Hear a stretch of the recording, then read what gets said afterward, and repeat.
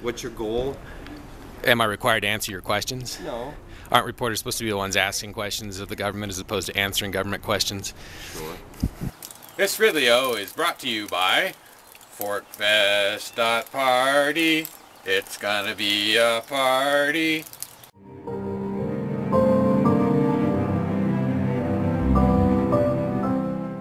Sir, question for you. Why is it okay for you to work a job that I am forced to pay for? Why is it okay? I do not know that answer off the top of my head. All right, fair enough. Sir, question for you. Is it right for you to work a job that I am forced to pay for? I, I don't want to answer this. Question for you. Huh? Question for you. Yes. Is there any order you would refuse to follow? Any order I'd refuse to follow, it's not in line with morals, then yeah, it goes against the Constitution of the United States. All right. All right. Where does the Constitution of the United States authorize the current occupation of Afghanistan? I'm not ready to answer those questions. All right, well, you answered one and I appreciate it. Yes. All right. Good. How are you? Yeah. Good to meet you. Award winner, I presume. Yes, sir. All right. Can we help you? How are you? Yeah, it's Dave Ridley, RidleyReport.com, Poor Okay. Man's TV station. I've already checked in with your PR department. I'd actually tried to walk over there, but I guess we're not allowed to. So I've, I've just yeah, I've just called them, and they're supposed to send someone over. They say they can't have anyone over until 9:30. Does that make sense? I do. Do you, do you remember the name you spoke to? Lee. Captain Lee. The last name is Lee. I don't remember the rank. Okay. Correct. And you are? I'm Major Neil. Okay.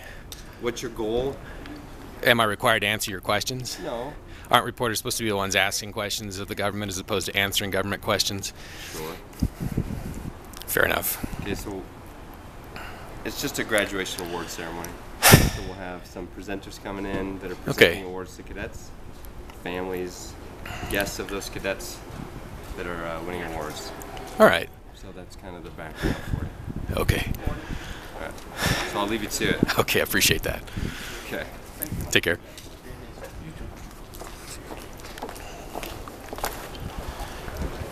Question, sir, ma'am? Uh, is there any order you would refuse to follow? You would follow any order given by the. Uh, It's ethical. is it ethical to occupy Afghanistan and kill eight civilians per terrorist? Okay. So let, are you an award winner? Yeah. Just come on enter the, the main entrance. You want award winners to go to I guess I should clarify they're only killing eight civilians per terrorist with drones. I'm not sure what the other ratios are. Okay, these are just cadets, right? They're just graduating, so they haven't done anything yet. Not yet.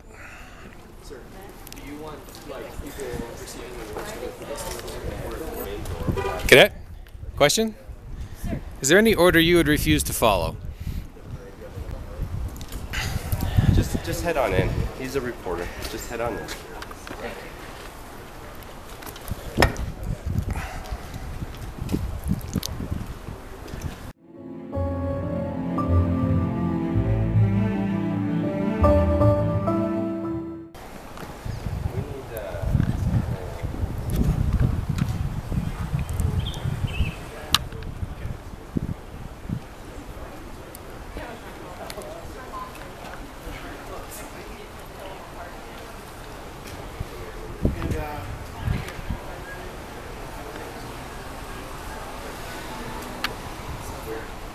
Are you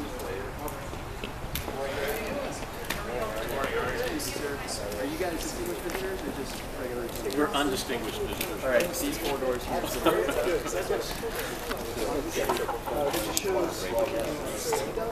I have. You know, uh, yeah, okay. say, are you a presenter? If they say no, um, you say,